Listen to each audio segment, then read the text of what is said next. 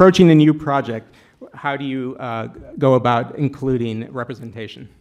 Uh, personally, in terms of uh, being able to write at DC, uh, I've been blessed to be able to touch characters that are canonically, um, you know, part of the Pride spectrum. Um, but I think for characters that uh, aren't necessarily explicitly out, if there is ambiguity, then you kind of just push it as far as you can.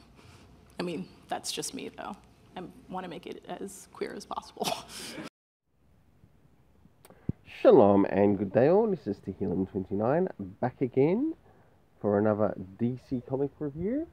And in this DC comic review, I'll be reviewing Dark Crisis Young Justice issue 1 of 6. So, first things first, I'll be covering the covers for this. Um, as I mentioned earlier this week, uh, I did order the second cover for this one, but there was a bit of a delay. Um, but I'm going to arrange to do something in regards to the cover reading, and that will be with showing the cover on the screen uh, whilst I'm doing this, whilst I give the cover rating. So I'll show, I'll, I'll, give the cover rating for the first one, and then when I move on to the second, I'll probably bring in a bit of a time, uh, a countdown time. So in that countdown, you'll get to see the second cover, and after that, I'll be able to give the rating.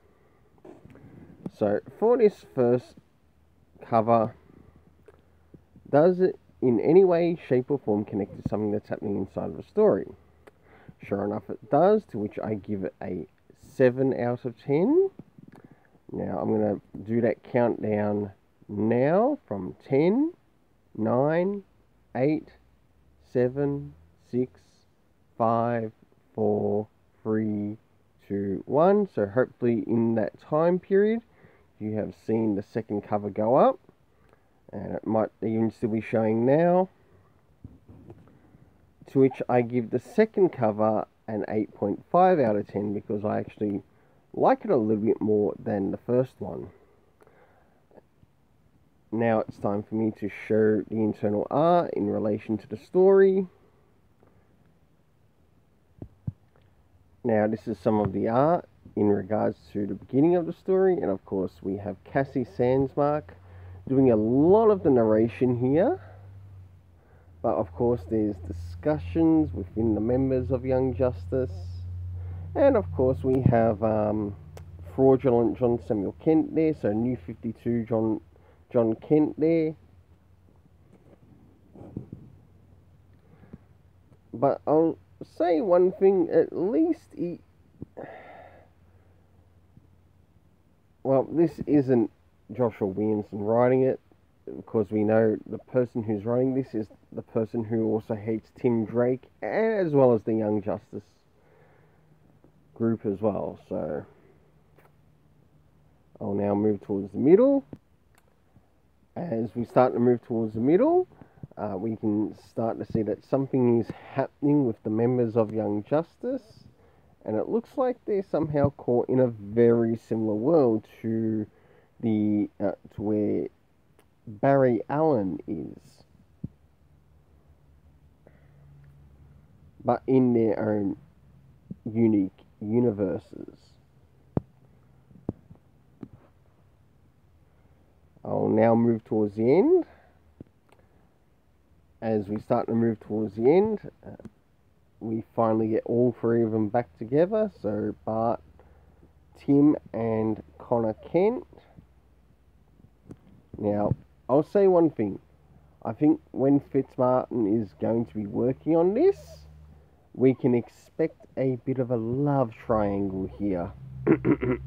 Probably between these three male characters.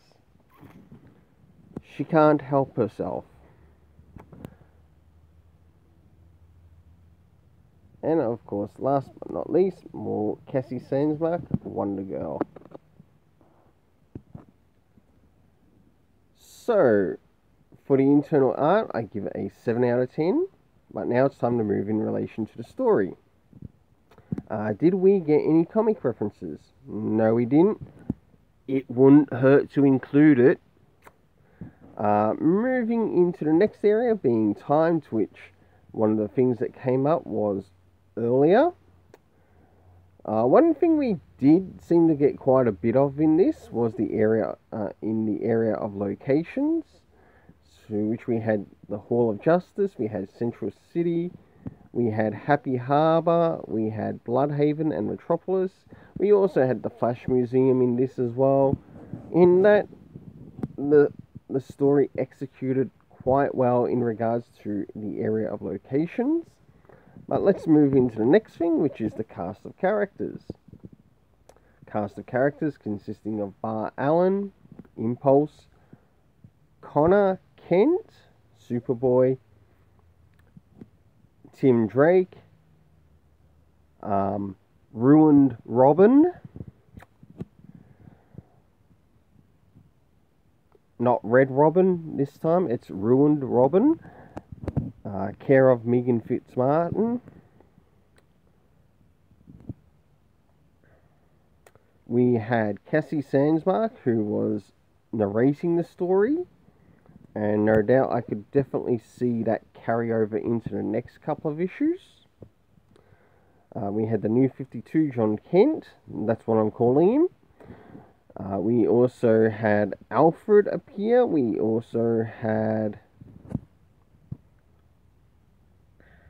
the Almighty Endowed, uh, Dubbilex, uh, who was connected to Superboy. And last but not least, we also had Nightwing. For the overall story rating, I gave it a 6 out of 10. No, it's not high, but yes, it is low. So until then, let's keep it colourful and have yourself an awesome day.